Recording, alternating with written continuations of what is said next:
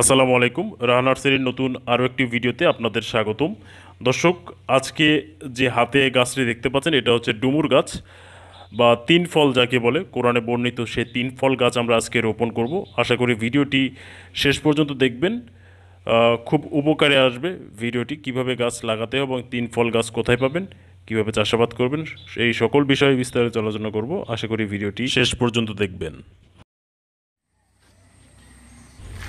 দর্শক, আমরা প্রথমেই একটা জায়গা থেকে আপনার গোবর সারের যে পুরনো মাটি আছে, সেই মাটিগুলো আমরা নিয়ে নিচ্ছি। এটা পুরোটাই এখানে ছিল গোবরের স্তূপ। সেখান থেকে আমরা পুরনো মাটিগুলো যেগুলো আছে, ওইগুলো নিচ্ছি। এগুলো প্রচুর পরিমাণে সার আছে, জৈব সার আছে। আমরা এতে কোনো অন্য সার ব্যবহার করব না। শুধুমাত্র এই মাটিতেই আমরা গাছ লাগাবো। এটাতে প্রচুর পরিমাণে সার আছে, যে কারণে আমরা আলাদা সার ব্যবহার করব না। আপনারা যারা অন্যান্য মাটি আছে, তারা সাধারণ যে মাটি আছে, তাতে আপনারা গাছ লাগাতে পারবেন। তবে সেক্ষেত্রে দুই ভাগ মাটি হতে হবে এবং এক ভাগ জৈব সার হতে হবে। সেটা ভার্মি কম্পোস্ট বা গোবর সার হলে হতে পারে। আপনারা চাইলে গোবর সারটা কাঁচা গোবর দেবেন না।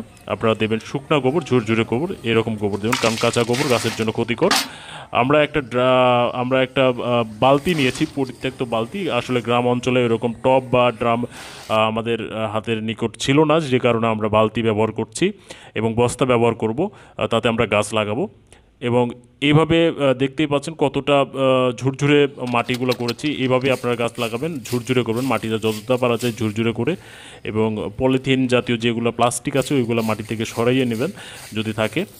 এভাবে মাটিগুলো থাপ তুবিয়ে দেবেন এবং চাপ দিয়ে বসিয়ে দিবেন, যেন বৃষ্টির পানি পড়লে মাটিগুলো ডেবে না যায়। মাটিগুলো ডেবে গেলে কিন্তু গাছের ক্ষতি হলেও হতে পারে।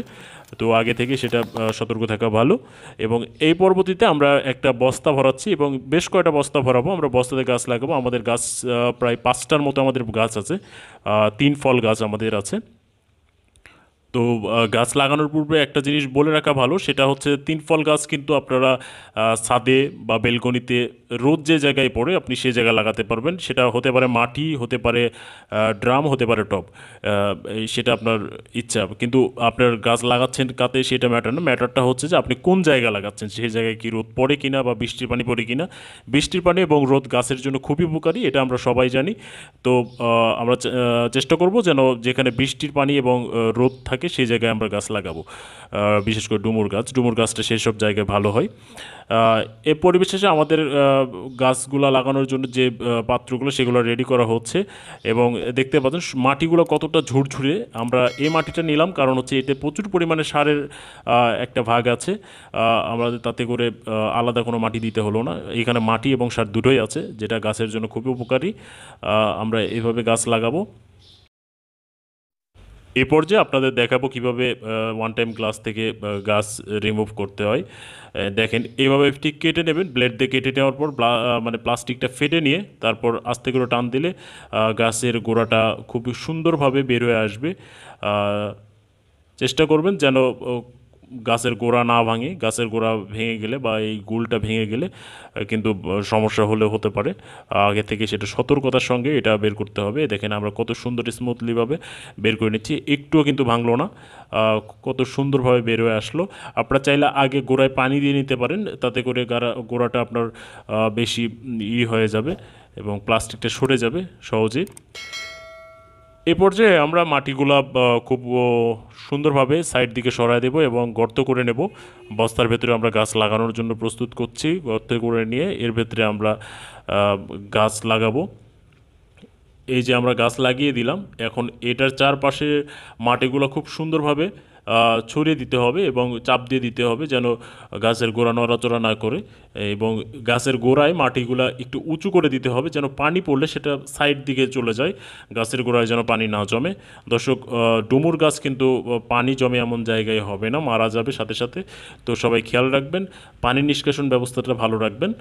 এবং গাছ লাগালে অবশ্যই আপনারা হাফ ড্রাম অথবা টবে লাগাবেন গাছ। বস্তাতেও লাগাতে পারবেন, তবে বস্তা বেশি দিন টেকসই হয় না।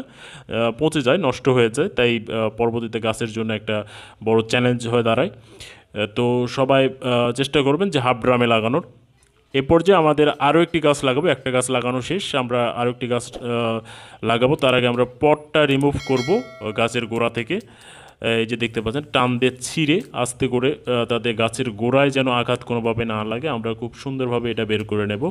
আপনারা দেখতেই পাচ্ছেন ছিঁড়ে ছিঁড়ে এই প্লাস্টিক থেকে রিমুভ করতে হয় খুবই সূক্ষ্মভাবে, যেন গাছের গোড়ায় টান না পড়ে বা ভেঙে না যায়। ডুমুরটা কিন্তু খুবই চাহিদা সম্পূর্ণ একটা ফল এবং খুবই হেলদি একটা ফল সারা বিশ্বেই, আমাদের দেশেও। এটার ব্যতিক্রম নয়। খুবই পুষ্টিকর এবং খুবই ঔষধি গুণ সম্পূর্ণ একটা ফল। কোরআনে বর্ণিত সেই তিন ফল। আপনারা দেখতে পাচ্ছেন আবারও একটি গাছ লাগানোর কার্যক্রম চলছে। খুব সুন্দরভাবে গর্ত করতে হবে এবং গর্ত করে তার ভেতরে গাছগুলো রোপণ করতে হবে। তার আগে বলে নেই, এই ডুমুর গাছগুলা আমাদের কাছে পাবেন। যারা চারা নিতে চান, আমাদের সঙ্গে যোগাযোগ করবেন। আমরা সুন্দরবন কুরিয়ারে সারা দেশে গাছ সাপ্লাই করে থাকি, যারা দূরে ক্রেতা আছেন এবং আপনারা চাইলে আমাদের নার্সারিতে এসেও গাছ পছন্দ করে নিতে পারবেন।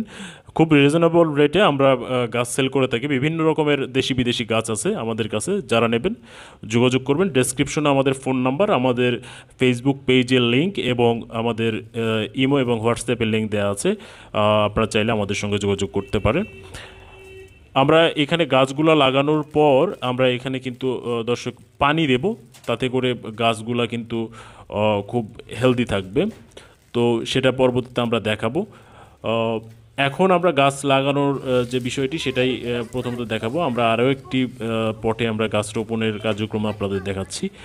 খুব সুন্দরভাবে চারপাশে মাটিগুলো ছড়িয়ে দিতে হবে এভাবে। তারপর একটু গর্ত করে নিয়ে তার ভেতরে আমরা গাছ রোপণ করব।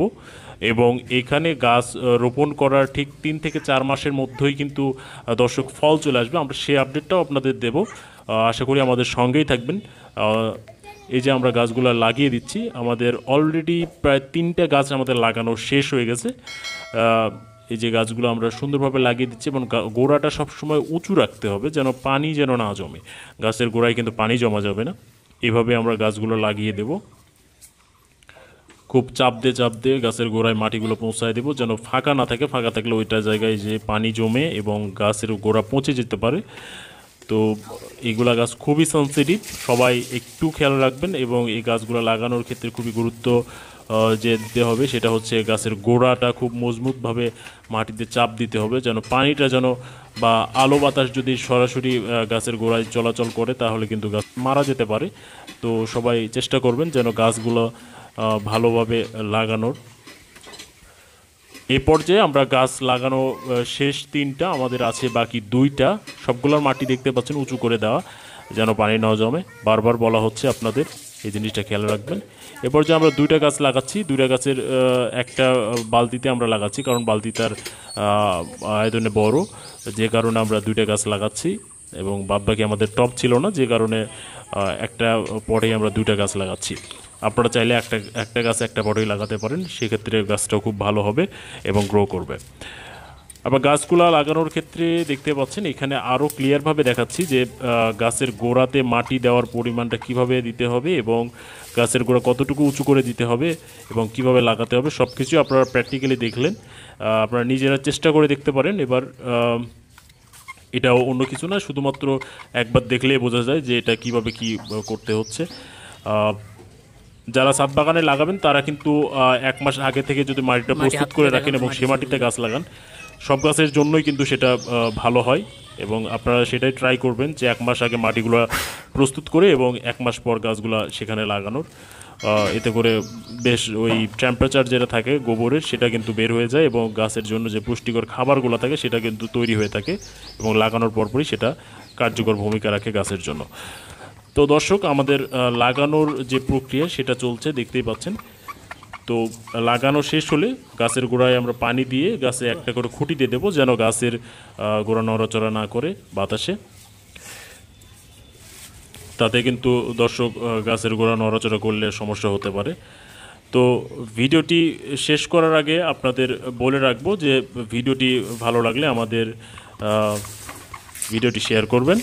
লাইক করে কমেন্ট করে আপনাদের মতামত জানাবেন এবং অবশ্যই অবশ্যই সাবস্ক্রাইব করবেন আমাদের ইউটিউব চ্যানেল এই পর্যায়ে ধন্যবাদ জানাব রাহান ভাইকে। তিনি তার গ্রামের বাড়িতে যে ভিডিওটি করেছে, এই ডুমুর গাছ লাগানো, সেটা আমাদের পাঠিয়েছে এবং ভিডিও কমপ্লিট করে দেওয়ার রিকোয়েস্ট করেছিলেন। আমরা সেটা কমপ্লিট করে দিলাম। ধন্যবাদ আপনাকে এত সুন্দর ভিডিও কষ্ট করে করে দেওয়ার জন্য। এবং আপনারা যারা আপনাদের সাত বাগানের ভিডিওটি এভাবে পাবলিশ করতে চান আমাদের চ্যানেল থেকে, তারা আমাদের সঙ্গে ভিডিও দিয়ে যোগাযোগ করতে পারেন। ধন্যবাদ সবাইকে।